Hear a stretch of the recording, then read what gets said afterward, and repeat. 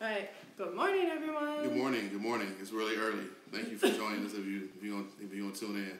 Yeah, we'll really we'll see who joins us now. But what we really want is for y'all to be able to see this and talk to people at work and really just be prepared for this Thursday, which is the opening of Collect It for the Culture Two, which is the second biannual exhibition that me and Robert Hodge are doing. Um, we're just really excited to present this to everyone, and so we just wanted to take a moment to talk to y'all about what we've been doing in the last year and this upcoming show on Thursday, as well as kind of some things you can look forward to um, throughout the rest of 2019.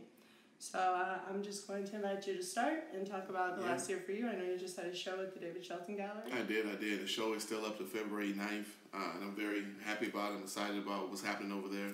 Um, that show is called End Theory, um, and and this is this show that we're talking about today is like you know it's our baby.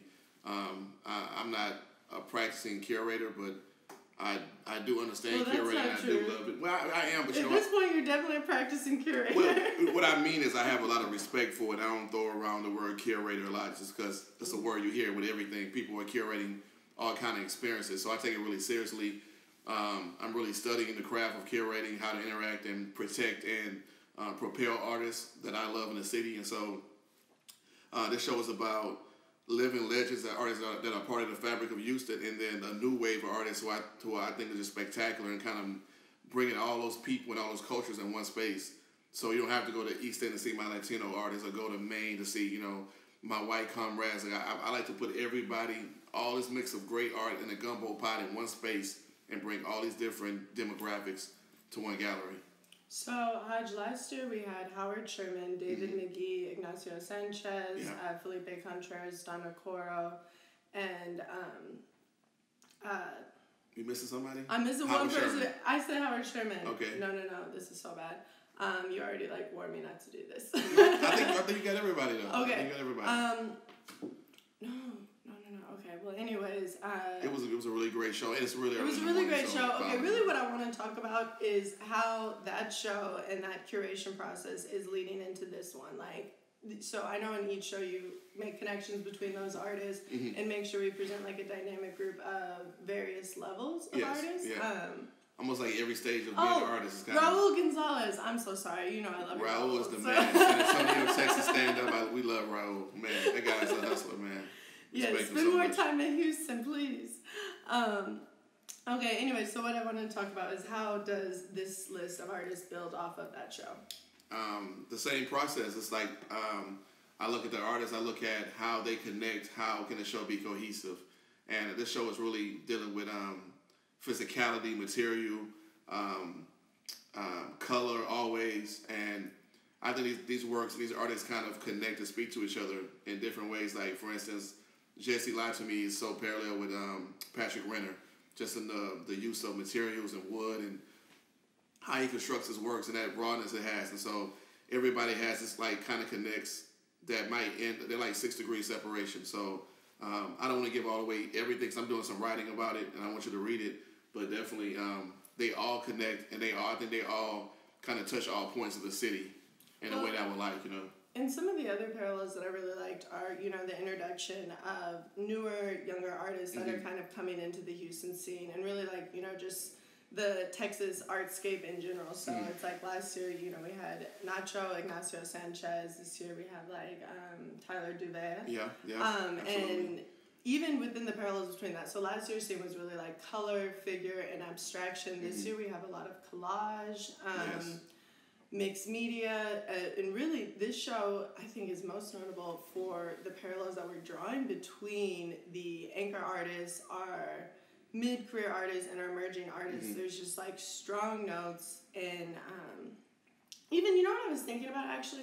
So Jesse using his like reclaimed materials to create a totally new um, piece in general really kind of remind me of Tyler's work, like the way he kind of is reclaiming digital images Absolutely. to create Yeah. a new collage. Yeah, So. That's like some of the more conceptual Yeah. connections that I saw in this show.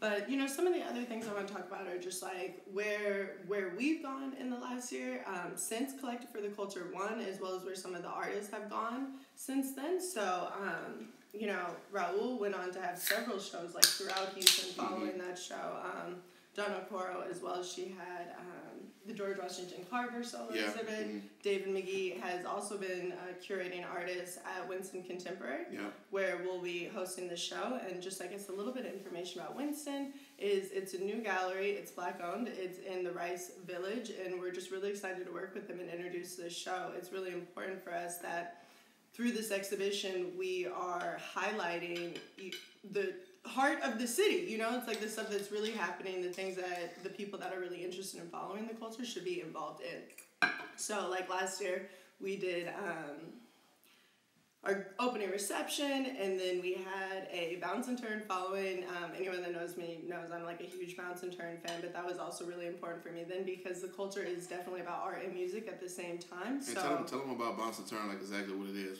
for Okay. people who don't know. I know Amy's gonna love this, and I always love giving bounce and turn shoutouts. Uh, so bounce and turn is a monthly Southern rap party, and really, um, my good friend Amy Mueller, as well as um, her DJ partner Kenny Evans, our big heavy Kenny, they work together to present this curated selection of alternative venues all throughout the city, as well as highlighting new artists that maybe don't get the chance to perform in traditional venues, as well as um, artists and DJs that have been doing this around the city, like DJ Shante, who was at Collect It for the Culture One and was just at the Bass Bounce and Turn. So it's a really cool series. I definitely recommend all of y'all check it out. Um, this year we also will have a music component in what we're doing. Um, we are going to have some performances, and there's also going to be some spoken word that happens during um, what I guess the first one is February 9th, so that's the Saturday after the opening, and then um, the next A lot one. of the program is planned that, you know, we're just going to let you in see a little bit closer, but it should be, you know, packed with some great programming. Yeah, and that one is the the spoken word element is it's called Pass It On and it's hosted by the Outspoken Bean. who- Outspoken Bean, what's up, man? Yeah, what's Amazing up? poet. Amazing poet. I bought a poem from him at Fresh Arts Winter Arts Market, which is actually something that happened for me in the last year. I was one of the judges for their um, Winter Arts Fe- Winter Fe- Arts Market Festival. Wham. Okay, Winter Holiday Art Market. I'm go. just like too dyslexic to know what an acronym stands Oh, for. it's really do a lot of early. Okay, but I can't. I can't even like have an excuse because I've had lots of coffee. No, uh, just a side note, I'm, I'm really excited about, and maybe I was, I was maybe romanticizing this idea what a curator does, but I really enjoy finding brand new artists. Like this is Tyler's first exhibition, so I love, you know, working with artists that are brand new, and then helping them navigate the art world and figuring out a plan.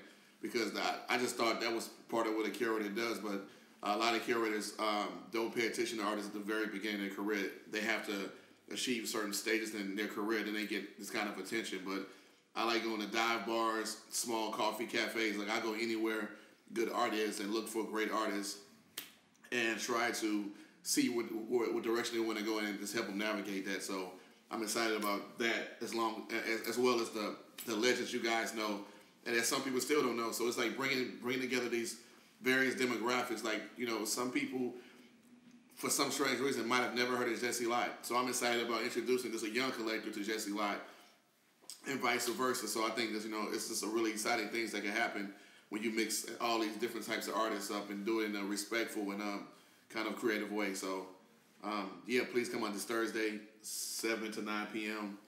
Uh, the address is two four two six Bartlett Street, um, Suite D. If I'm not, if You'll I'm see correct, us, you'll you'll see see us. You know, it's gonna be right. You know, Can't miss it. Can't miss it. absolutely. Um, you know, I want to talk a little bit more about Tyler. So, one of the things that I think is also really exciting about Collect It for the Culture is also um, exciting about just kind of the trajectory that Black Buddha Creative Agency is moving in. So, most of y'all know we were activating the union. No, we, we gotta eat, we can't do this without food.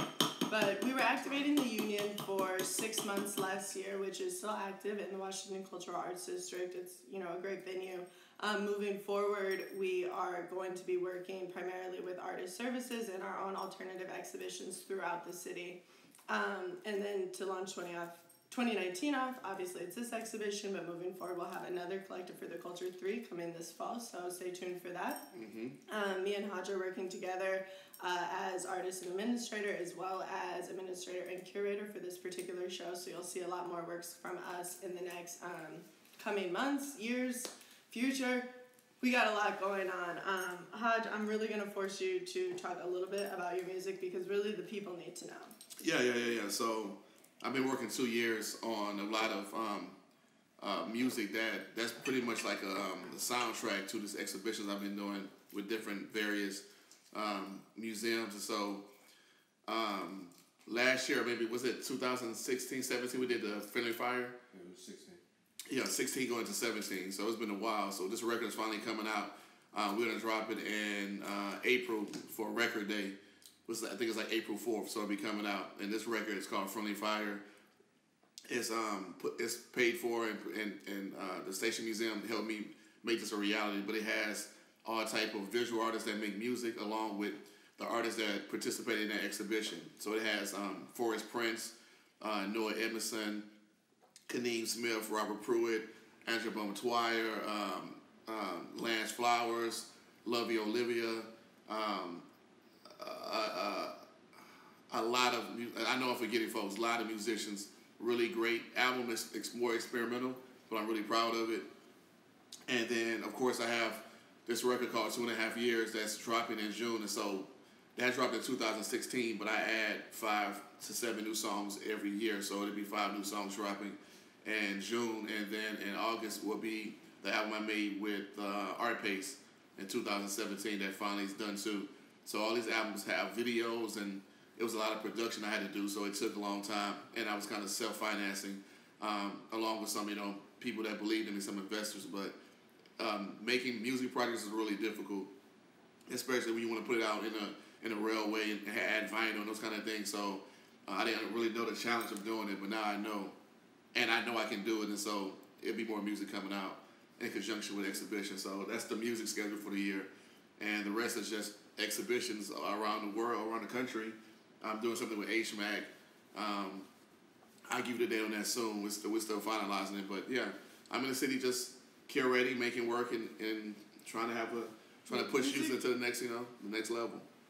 Yeah, no, I feel it. Uh, you know, as an interdisciplinary artist, it's really surprising to me sometimes. Well, and not even just you, but with a lot of the artists that I've worked with in the past and that I follow, it's always so surprising me. You know, when you see these large scale paintings and then large scale exhibitions, and then just to find out it's like, oh, you have four records in the works. Um, uh, so you know we're really um, we work quietly, especially within the last you know seven months. It's been definitely a long moment of incubation and conceptualization and trying to figure out how we can have the most positive effect for young collectors and um, not even just young collectors, but a whole new wave of collectors. I think that right now people are engaging with art in a totally new Absolutely. way, primarily digitally. So that's also something that's really exciting about what you're going to see this Thursday is the conversation between you know classic works and um, mixed media but having a conversation about digital art and social media intertwining with the old and the new so you, it'll make more sense when you see it uh, and Hodge will you know get some language behind it Absolutely. but um, yeah i think that you know all, all i really want to make sure everyone knows is that we're really doing this to teach y'all what is up. Like, if you're wanting to start collecting art, or even if you've been collecting art, but you're just kind of, you know, bored with the spaces that you'll find yourself in, this is definitely, you know, a great place for you to come and engage. We are going to be you know, not only presenting a dynamic show, but I think you'll be most pleasantly surprised by the audience that is going to come to see this group of artists. And that's something that was really beautiful for me, you know, when we presented Collector for the Culture of One, is I just truly felt like there was nobody that could walk in that space and not say, like, that's someone who looks like me. You know, everyone was just like belonged in that moment. And that's, you know, what you were talking about. Like, you don't Yeah. have to go to Maine to find this artist, you don't have to go to California. Like, everything is really right here in Houston, Texas. And, you know, we're really lucky to live in this city. I'm not originally from Houston. But uh, you know, I made this city my home, and it has definitely returned the favor and been just like such a warm embrace for me. So this is just Use is the wave, man. The- Uh, the we way. also are shooting from Lawndale. I want to give a shout out to Lawndale Art Center. I'm doing a residency here, so we're shooting in that studio in Lawndale. So just want to give them a shout out because they've been really taking great care of me, and I'm, I'm loving this residency program. So that's, I just want to say that before we continue. Yes, no, I'm happy you did. Uh, I just realized though that we haven't verbally stated all of the artists. Mm-hmm. Um, most of them you can find on Instagram, but just to go down the list in this show, we've got Tyler Deauvea, Rajab Ali Sayed, Mhm. um, Dana Frankfort, Kaneem Smith, Mark Flood, Jesse Lott, Floyd Newsum, uh, Patrick Renner, Mhm. and that's everyone. It's everyone. That's everyone. Um, a lot of those artists, for those of you that don't know, there's just a lot of overlapping history. Um, specifically, Jesse Lott and Floyd Newsum, those are two of the original Project Row House's founders, um, which is actually where I started my career in the arts. So, shout out to Project Row Houses and um, PRH, You know- baby. PRH. yeah, uh, I think that it, it, it's a really special experience for me to watch everything come full circle. And this isn't even really the end of the circle, but it feels like we're going definitely into a new phase of what we're doing as, you know, black curators in the city, black cur- curators, artists, organizers, arts administrators.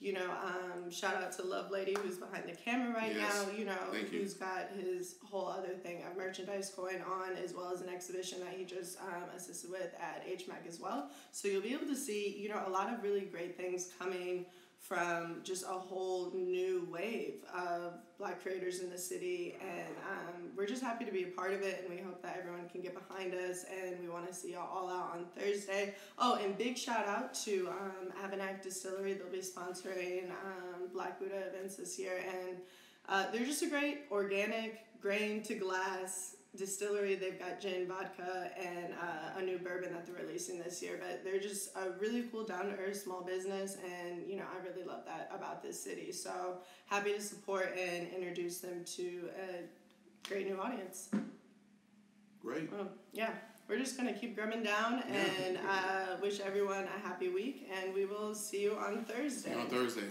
Have a productive day.